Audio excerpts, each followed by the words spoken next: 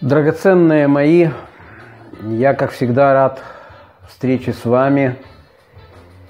И сегодня очередная передача, так сказать. И будет она посвящена образу врага, почему мы постоянно ищем врага, почему мы не хотим понимать, что мы сами виноваты во всех своих бедах, своих проблемах – Сейчас все стали очень образованными, смотрят интернет, находятся в Ютубе. И, естественно, образа врага там куча.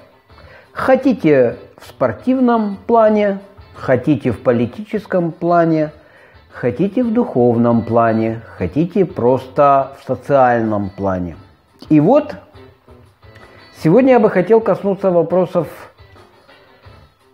о чем так красочно рассказывает краснобай Дэвид Айк о рептилоидах, которые мучают землю в лице Винзоров, Ротшильдов, евреев всех мастей и так далее, и так далее, и так далее.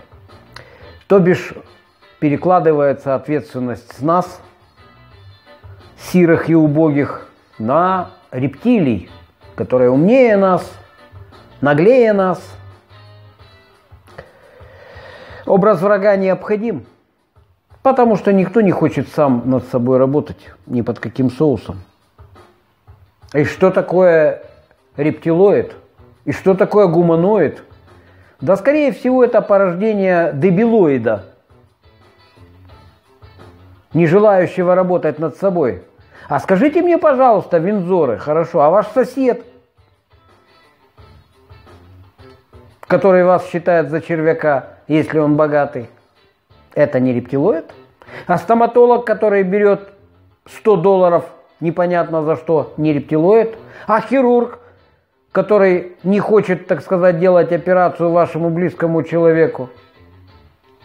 И так далее, это можно перечислять сколько угодно. Я не говорю руководителя какого-то, который гнобит вас на работе и унижает.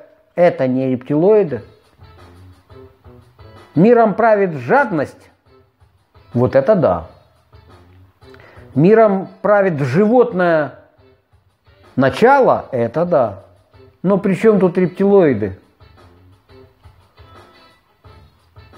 Поэтому давайте не будем перекладывать ответственность за свои поступки и за свое несчастное положение на кого-то, а заглянем лучше вглубь себя –